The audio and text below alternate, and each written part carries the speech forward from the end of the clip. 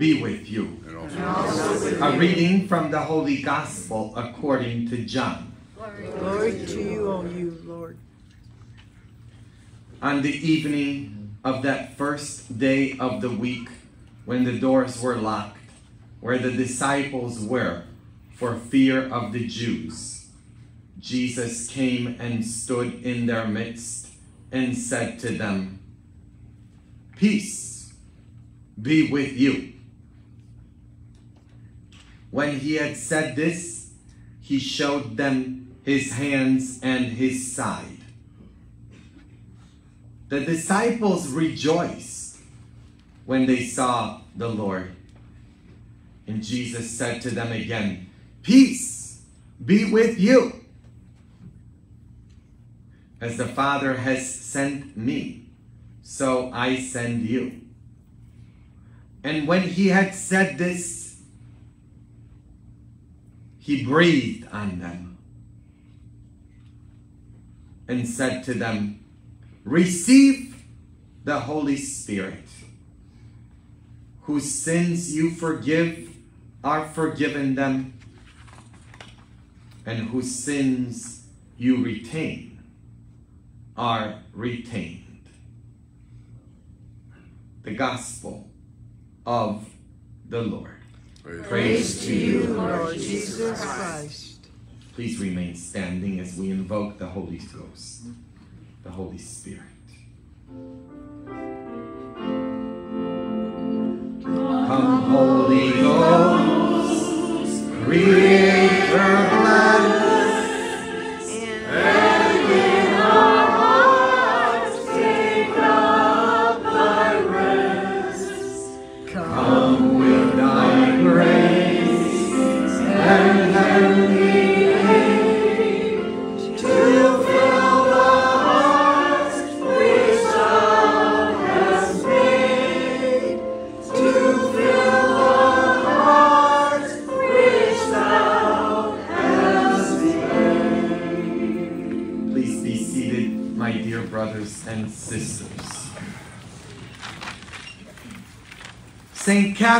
of Siena.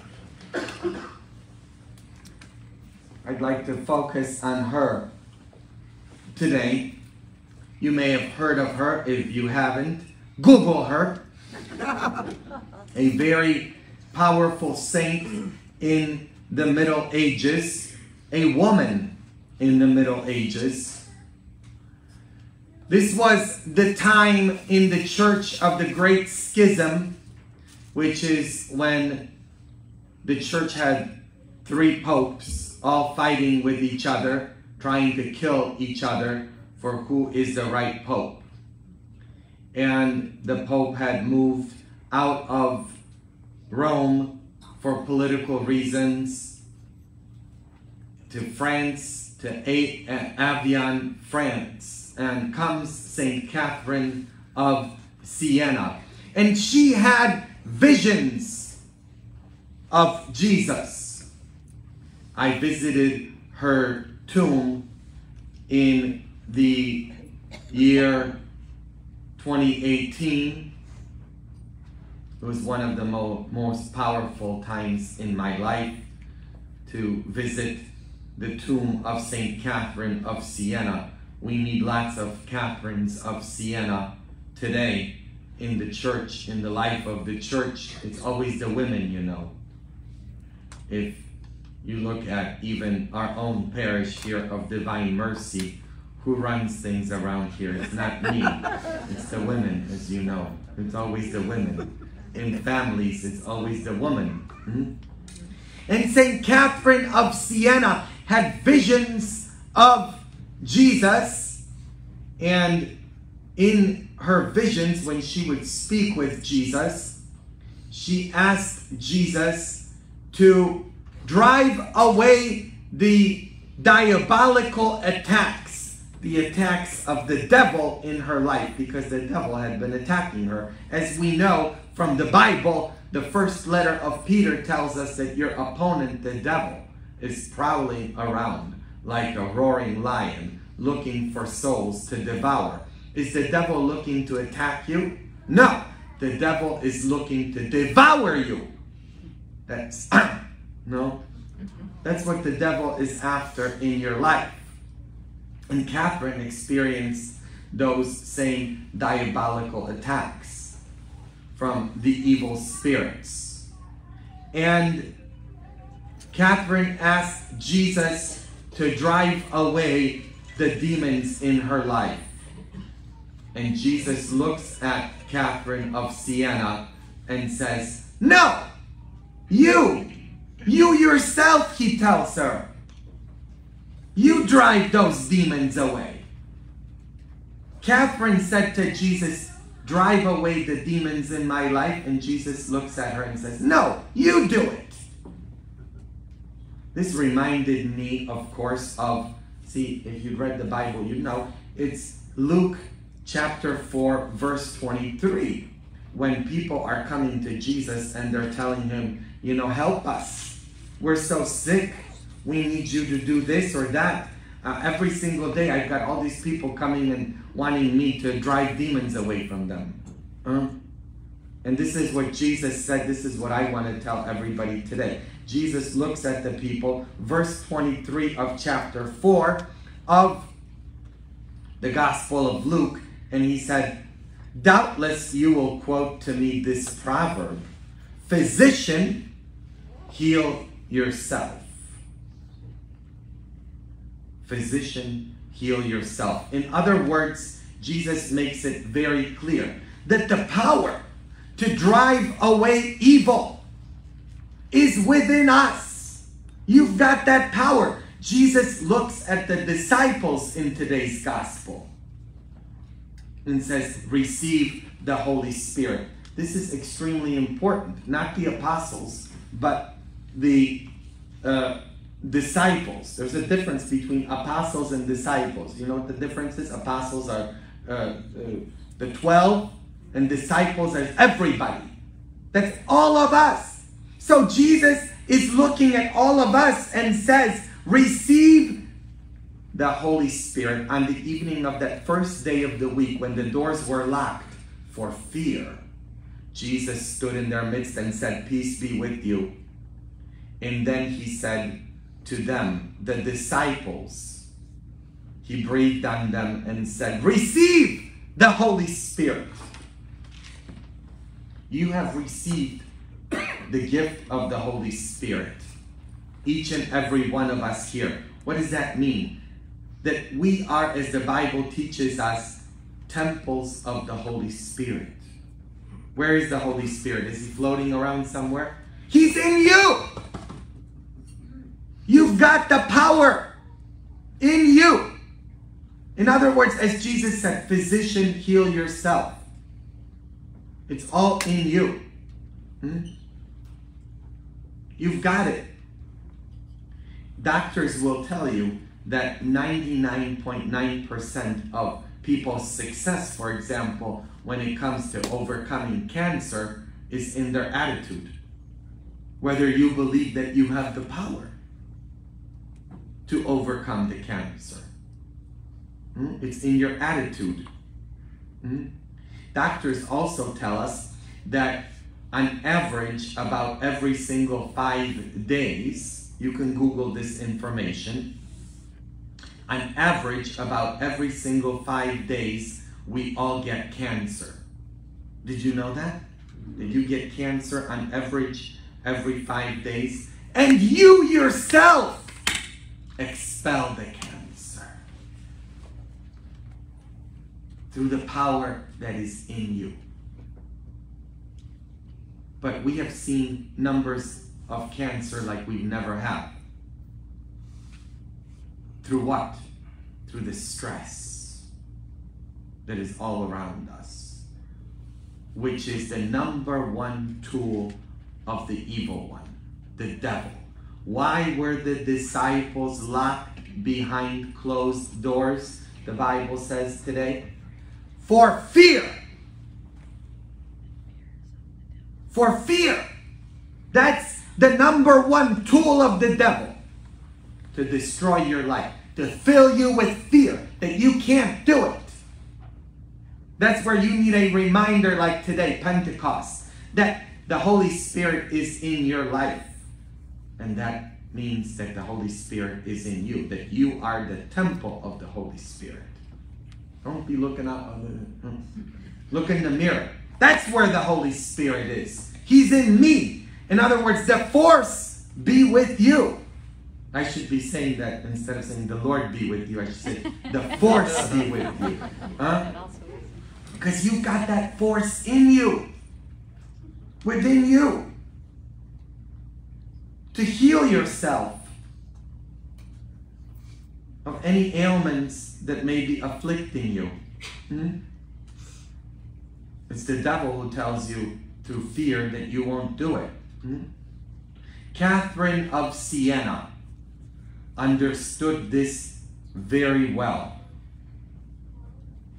And she got it that the authority to drive away the evil spirits was in her.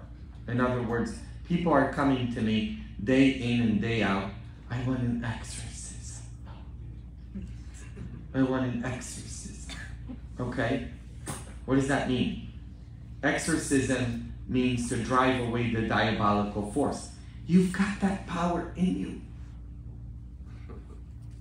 It's in you already. What what do the exorcists do? Have you have you I've participated in a few exorcisms, and what exorcists do is they order the evil spirit to come out. I order you in the name of Jesus. Come out. Hmm? That's exactly what happened in the life of St. Catherine of Siena. Through the authority that was in her, she even had authority over the popes. Read her life. They obeyed her.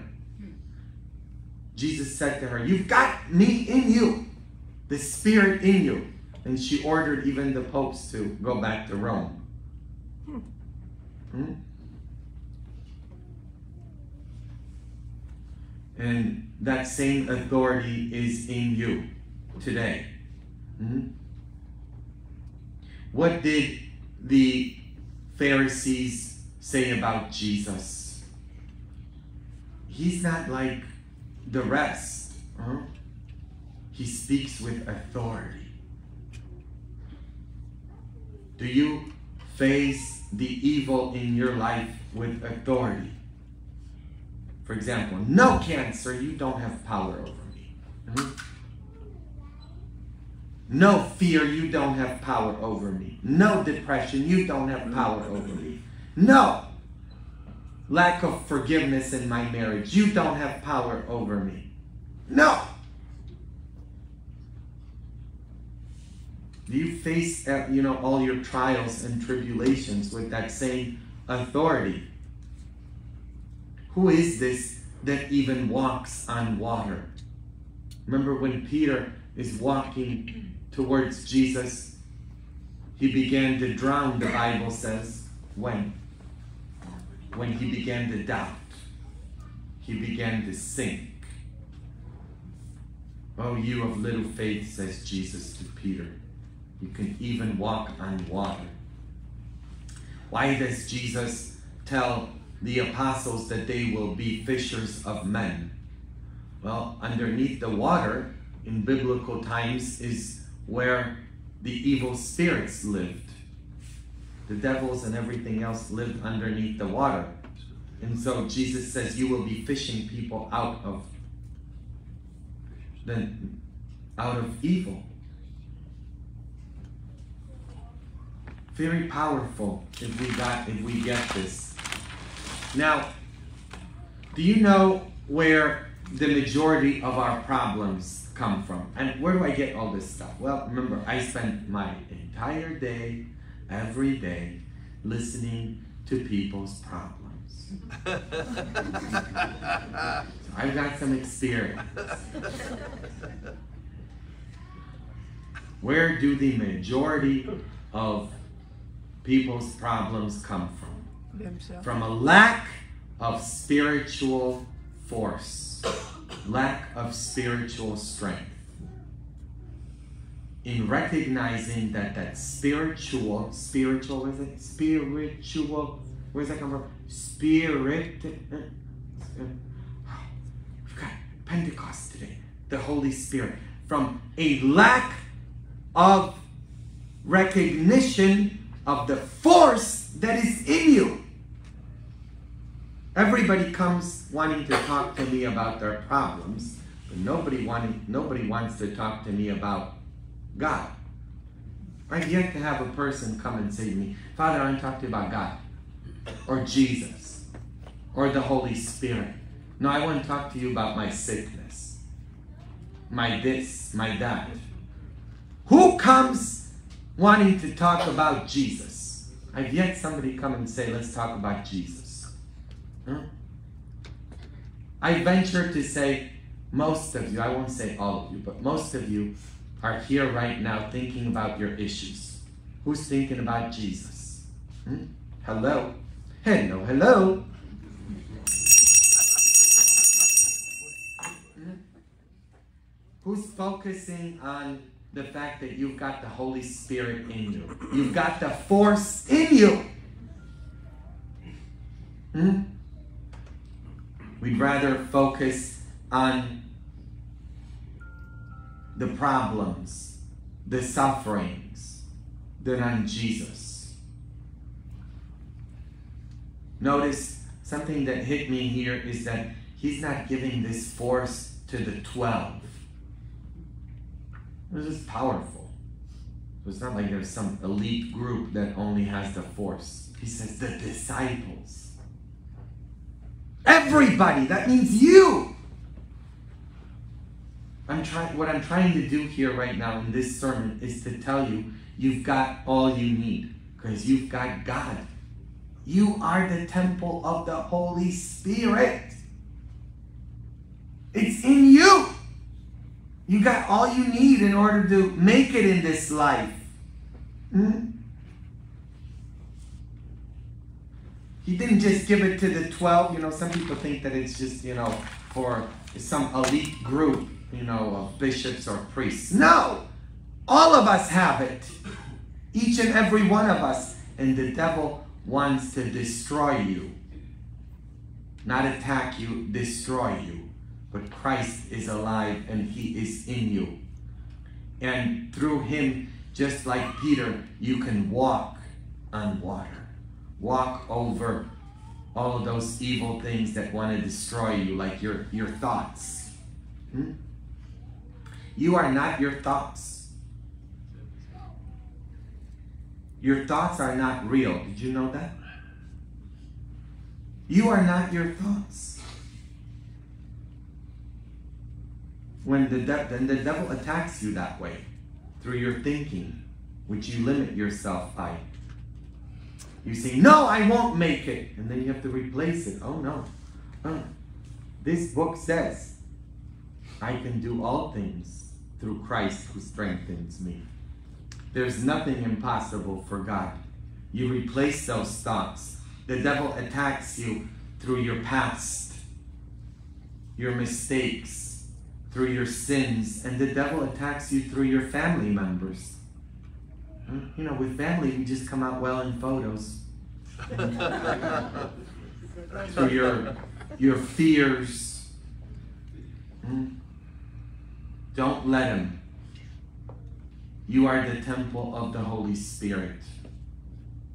You've got it all in order to make it. How do these holy things that I prepare for all of you work, like the oil and the water and all of that stuff. It just activates the force in you. The force is already in you. You just need to activate it. Hmm? That's how it works. So on this Pentecost Sunday, I'd like all of us to think about, you know, whether we believe in God or whether we believe in an all-powerful God. Do I just believe in God or do I believe in the power of God?